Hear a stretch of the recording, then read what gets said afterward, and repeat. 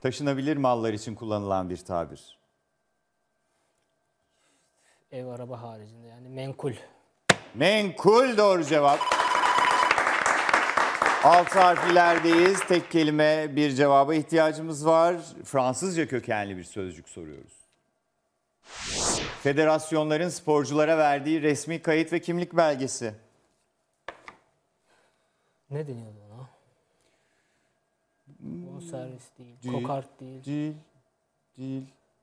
kimlik orada zaten. Siz e, ne- Lisans. Evet lisans doğru cevap.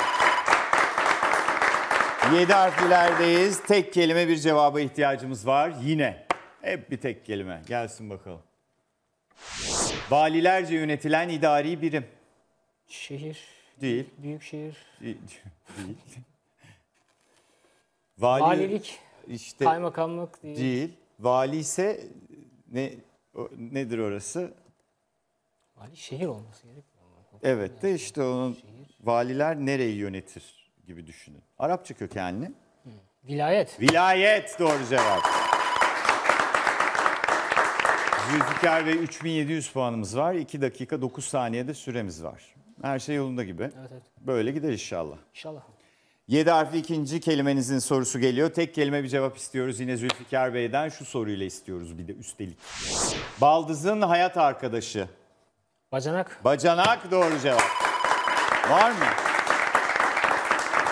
Yok. Bacanağınız yok. Neyiniz var? Ee, kimsem yok. ya, işimin tarafı tek çocuk olduğu için Ha. öyle bir şey Çok kurulamadı. güzel. E, ra- rahat gibi. Yo, fark böyle demek istemedim. Yani Sizin adınıza özür dilerim. ya benim yo benim ben böyle bir şeyim olmadığı için ben rahatım da. Değil mi? Efendim 8 harflere geçtik. Esnaf aa gelsin soru. Pardon direkt soruyu soruyorum. Esnaf kıyağı. İndirim. E, yok İskonto. yok. Yok yok. Daha kıyak. Daha okey. Güzellik.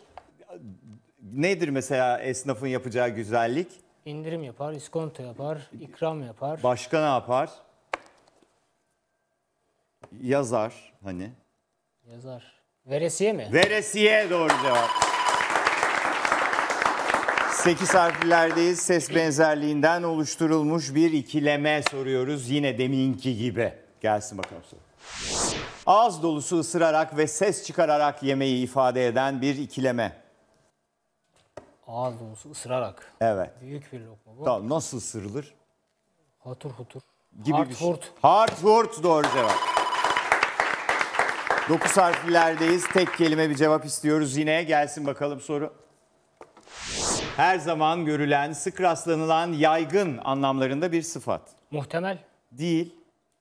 Olasılık dahilinde ihtimali var. Olağan. gibi bir şey. Yani her zaman görülen. Yani bu İstanbul trafik, trafik artık alışılmış bir şey. Ha? Alışılmış. mış değil. Alışıldık. Alışıldık doğru cevap. İki kelimeden oluşan bir cevaba ihtiyacımız var. Yine 9 harfli yapıştıralım soruyu. Spor karşılaşmaları için kullanılan yüzeyi çimle kaplı alan. Çimle kaplı alan. Çimle kaplan güzel tarif söylediniz de. Saha ne saha? Evet. Çimle Yeşil saha. kaplıysa. Yeşil saha. Yeşil saha doğru cevap. 10 harflilerdeyiz efendim. İki kelimeden oluşan ve dili geçmiş zamanda bir deyim soruyoruz. Gelsin bakalım nasıl soruyoruz. Kötü sonu yaklaştı, cezalandırılması yakındır anlamlarında kullanılan bir tabir. Bileti kesildi gibi bir şey mi? Gi- Gibi bir şey. Kötü sonu yaklaştı. Ha, onun da nokta nokta Gününü gördü mü? yok. Görecek. Ne bileyim. Mecazi anlam düşünürseniz. Deyim ya bu. Yakındır. Kötü sonu yaklaştı. Geldi.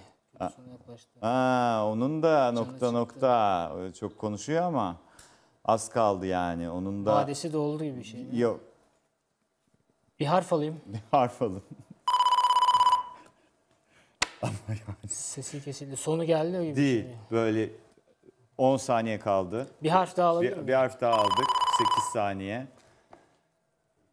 Ee, Bir harf daha. Bir harf daha. Evet.